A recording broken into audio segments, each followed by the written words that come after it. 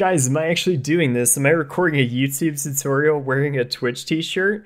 Huh, so what's up everybody, my name is Danger Doug and today what we're going to be doing is looking over YouTube's live control room just so that you guys can know exactly how you can stream to YouTube. I've gotten the question here and there from a lot of different community members here and there about how to stream on YouTube, and it's not just Twitch streamers and Mixer streamers, but people who are just looking to get into streaming in general. So if you are a Twitch streamer or Mixer streamer, you probably see a little bit of a similar process here and there as to what we're going to be showing you, but for everybody else who's never streamed beforehand, let's check out exactly how you can stream on YouTube. So first thing that we want to take a look at is going over to our live dashboard. Now essentially you see mine right over here with everything that's going on from our um, last stream performance to the channel analytics, but on this left side toolbar over here where it says dashboard, you go one down to the video section and that's where we're going to get into the live control room. So YouTube has two different sections here and there. There's the upload section for your video uploads for if you get like a 10-15 minute video for the most part, and then the second section is the live section. Now the live section, if you were to go over here to uploads and whatnot and go over to one tab over,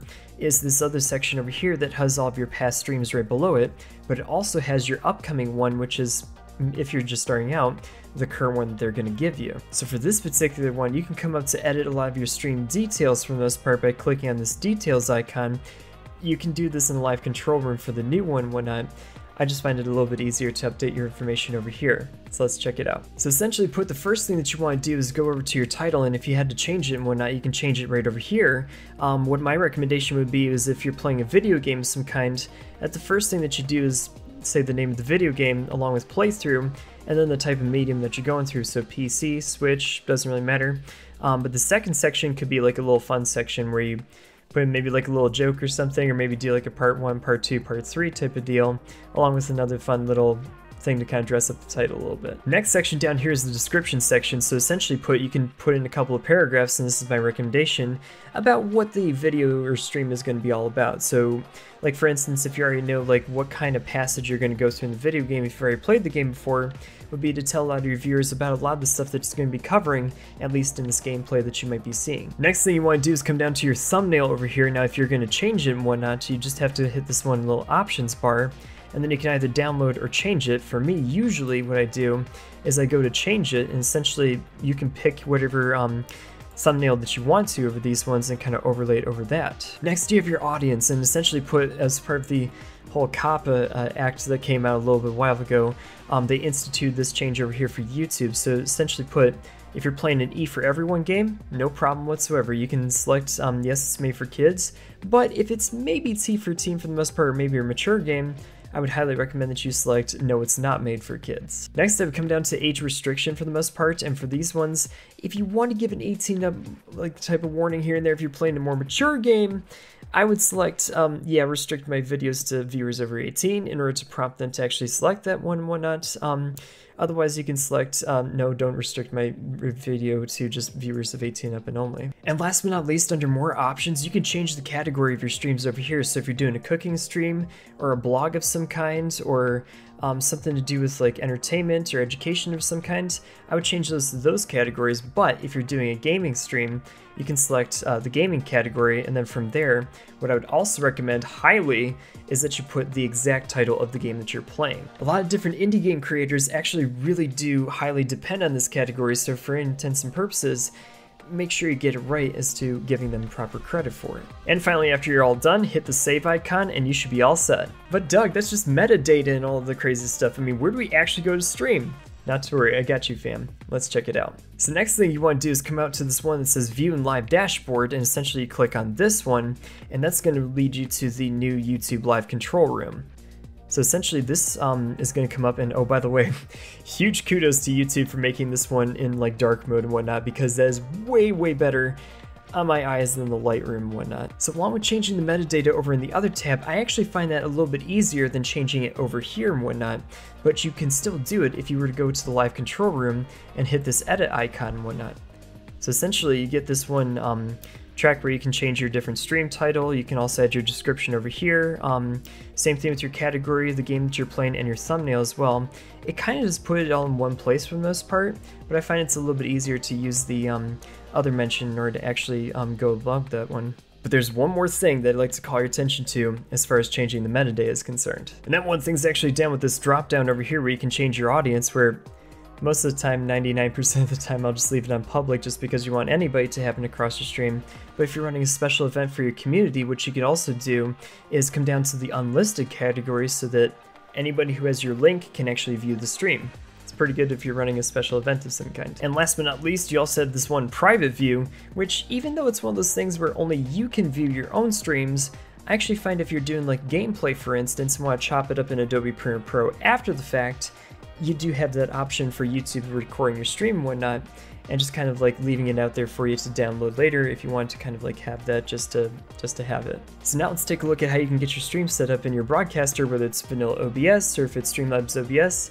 Let's look at how you can actually get this one done. So first things first, you have the stream key section that's down here over here with a lot of your sensitive information. Now again, this stream key um, is blocked off for a reason. Essentially, that's the unique identifier and code as to what your actual stream channel is all about.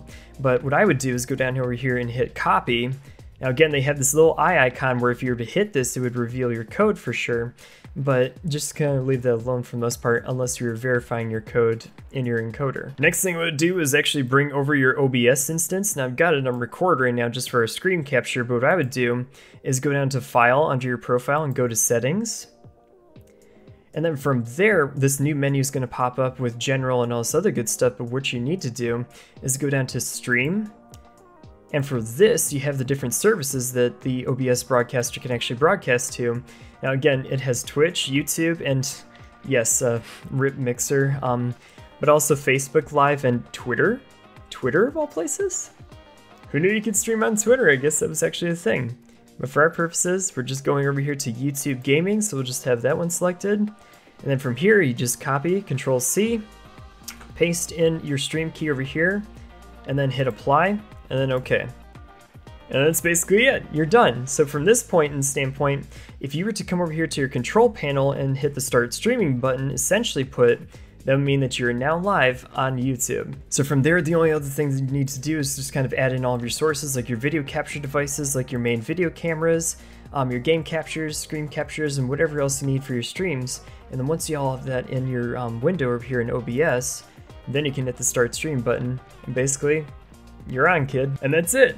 Now you're live over here on YouTube, but let's take a look at a couple of the other features over from the live control room that are available to you, the creators. So when taking a look at this window, you do have your live chat over here, who's basically, know, whenever anybody shows up, they're going to show up over here with this live chat room, but you also have your custom emojis over here. Now again, unlike Twitch and whatnot, Twitch actually has an advantage over YouTube in the sense that they allow their creators to actually come up with their own custom emojis.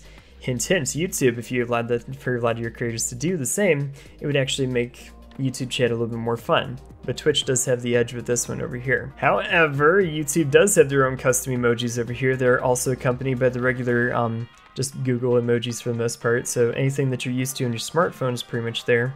But another thing that's available to creators is this webcam option over here as well. So let's take a look. Now the webcam stream option is actually a pretty simple option for the most part where you just basically take whatever webcam you're using and whatever microphone you're using and going live IRL. So instead of actually going through an OBS broadcaster, if you didn't want to like mess with that or whatnot, and you just kind of want to put on a special event where it's just you, your webcam, and your microphone, and your audience, you have that option to actually go live over here. This is pretty good for the most part if you're just doing like a IRL stream here and there with your community or just running, running a special event of some kind and then you just have a little bit of plug and play type of deal. The last option I'd like to show you guys over here is the manage tab over here, which essentially put um, allows you to schedule a lot of your uh, upcoming streams and whatnot. So when you select this, you can create all the same metadata that you wanted in a lot of the other streams, but essentially gives it a little bit of a timer or something leading up to the big day if you're running like a special event of some kind.